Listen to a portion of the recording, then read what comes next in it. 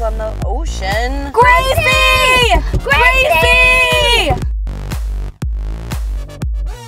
Oh my god, we forgot about our pre-Vegas cleanse! Ah! and then we go to Brittany. I can't believe we didn't get in that party. I mean, look at us. Maritime law.